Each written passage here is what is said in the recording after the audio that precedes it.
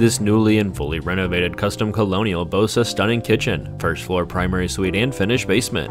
Ready to take the next step in obtaining your future home? Contact Pina Nazario and Julian Nazario to find out how.